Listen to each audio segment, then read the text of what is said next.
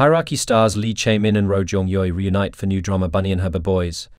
Fans of the hit Netflix K-drama Hierarchy are in for a treat as the show's lead stars, Lee Chae-min and Roh Jeong-eui, are set to reunite in an exciting new drama Bunny and Her Boys. Based on the popular webtoon of the same name, the new series is scheduled to air in 2025 and has already generated significant buzz, in Bunny and Her Boys, Roh Jeong-eui will play the role of Ban Hee-jin. Also known as Bunny Ban Hee-jin is a brilliant and beautiful student whose life takes a dramatic turn after a heartbreaking break and breakup with her first boyfriend. Following the split, a series of charming and handsome men begin to enter her life, setting the stage for a whirlwind of romantic possibilities.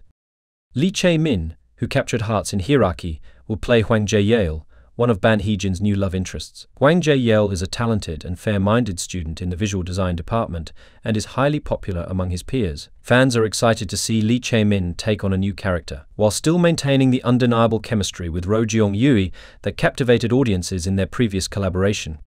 Joining them in the cast is rising star Cho Jun-young, who will portray Cha Ji-won, a chaebol heir with perfect visuals, academics, and a prestigious family background. Cha Ji-won will be another key player in the complicated love dynamics surrounding Ban Hee-jin. The announcement of Bunny and her boys has already stirred anticipation among K-drama fans, with many eager to see the on-screen reunion of Lee Chae-min and Roh Jeong-eui. The combination of a compelling webtoon-based storyline and a talented cast promises to make this one of the most highly anticipated dramas of 2025.